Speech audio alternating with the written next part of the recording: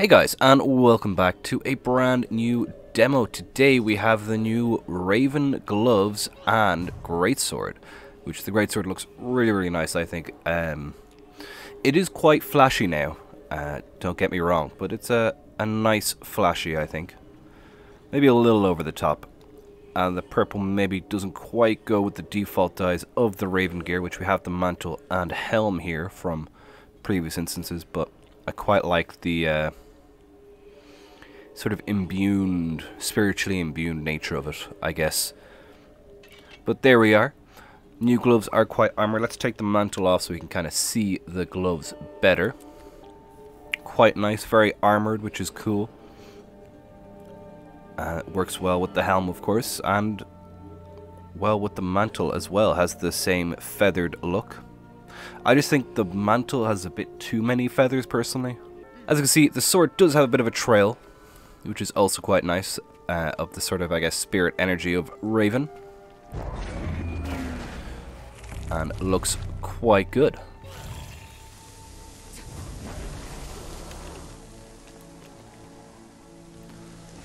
But I think let's go check out the dyes for the gloves. This is currently default, I think. Yes, default, which is iron, silver, oil slick, and brass, and DirectX 11 has decided that it is now just pure white, which is fantastic. Here we go, lovely stuff. Okay, so there's pure Shadow Abyss compared to default dyes on the helm there, so you can kind of see it's a little bit darker. And personally, I kind of like it. Let's go for the individual channels. So top left is the feathers. Top right is going to be the main portion of the armor. Bottom left is going to be the rim around the armor, just sort of highlights. Get the little buckle there. Quite nice. And bottom right is going to be the actual glove part of the gloves. There we go. So we have green on the top left, we have pink, purple on the top right, we have blue on the bottom left, and we have orange on the bottom right. I can probably get a better blue than that. Stands out a little bit more. So you can see all the different uh, layers together there. Oh, I like, there's a raven on the back, on the elbow. That's kind of cool. Right, let's go check this out on all the different races and see how it looks across. Especially, I'm kind of curious on Norn. Hopefully it looks best on Norn, uh, as it is a Raven Spirit set. Alright, let's do it. Here we are on Human with the new Raven Gloves as well as the Ravensoul Greatsword.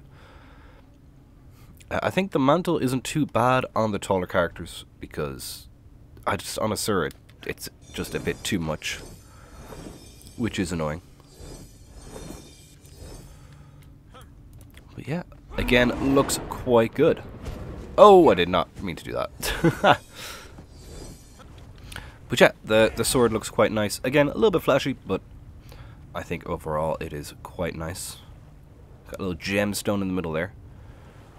Doesn't seem to be too much, like, ravenness to it. Is that meant to be a raven's head there?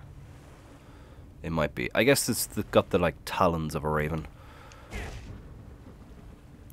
But there we are. Let's move on to our next... Actually, let's have a look at the dyes and then move on to our next character. So, the dyes here, uh, we have baby blue on the left, we have electro blue on the top right, and beige on the bottom right. And then we also have baby blue for the top and right for the helm and mantle, and then electro blue on the bottom left there. Alright, let's move on. Here we are on Sylvari with the new Raven gear. We got the gloves and the greatsword. Which looks quite nice. This pair with faux fire gear, uh, which is, I guess, an interesting combo. And again, the mantle doesn't seem too... It's not too cluttery, again, on a humanoid species. So I quite like how the greatsword fades when it's stowed. Compared to when it is not.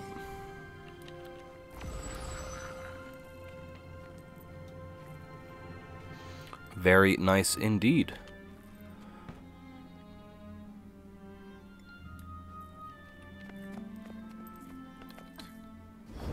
It does not have a trail effect when it is stowed as well. Let's have a look at the dyes. Uh, so we have iron on the top there, giving it a nice sort of metally look, and we have glory and grape gum for the highlights and the actual glove. Which does look quite nice.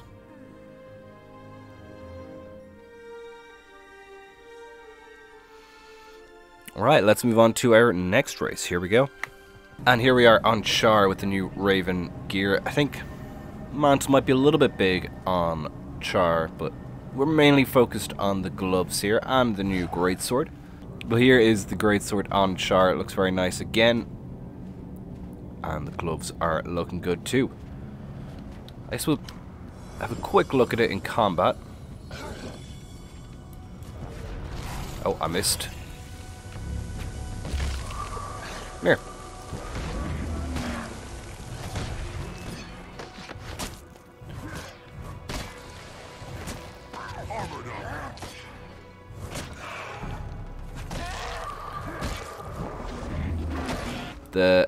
Gets a little bit covered by um, Necro's chill.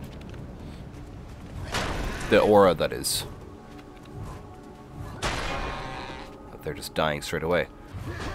Might have a look at it quickly on a Guardian, it might look nice. The blue might complement um, just the default aura of the weapon. But let's move on to our next character. Actually, no, let's look at the dye and then move on to our next character. So dyes wise, we have blue steel and burnished steel on top and burnished steel and oil slick down below. This guy's not to leave me alone now. Ow.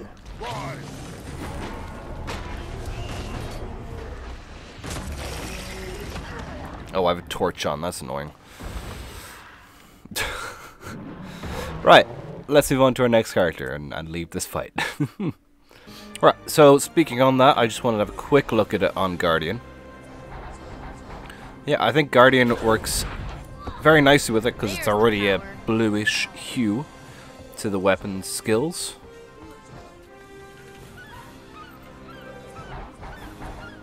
Yeah, looks good. Right, on to Norn, finally. Here we are on Norn with the new Raven gear and of the old stuff as well. Those gloves look really weird in that dye pattern, but there we go. Uh, I guess we can probably have a look in combat. I think the Choya event is up at the moment. But looks quite nice. Again, I think the mantle on the humanoid isn't as overpowering as it is on the Asura, mainly the Asura. Uh, I think it's just a bit too big. The sword looks nice. Let's have a look in action.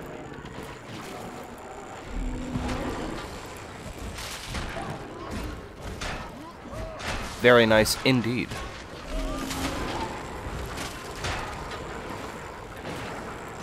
A lot of choy here though. Well, that is the Greatsword and Gloves on Norn. Let's have a look at the dyes before we move back to Quoundo to wrap up the video. We have Eerie Purple on the left, Lilac on the bottom right, and Pyre on the top right.